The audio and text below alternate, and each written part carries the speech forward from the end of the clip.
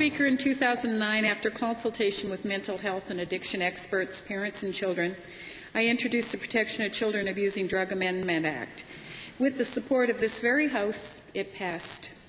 Upon proclamation of the bill, children abusing drugs would be held in treatment for 10 days and not the current five. PChAD, as it's known, was the sixth bill out of 62 introduced by the government during the spring session. That shows me that it was a priority of the government at the time. Sadly, Mr. Speaker, I can't say the same now. It is still waiting to be pro proclaimed and made into a law. Addiction professionals all have indicated that five days of treatment is not enough to unpickle the brain and get them ready for the rest of their lives by keeping children clean and sober.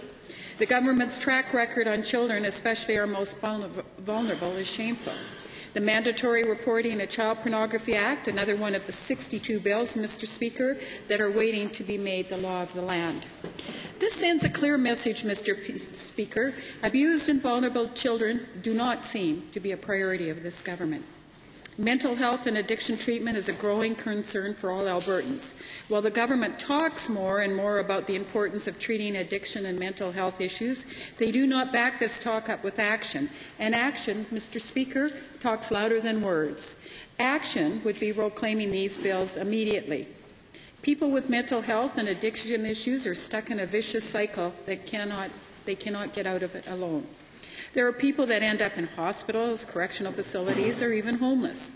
If the government is truly serious, as indicated in the speech from the throne, they would properly fund mental health and addiction initiatives and consult with the experts in the field.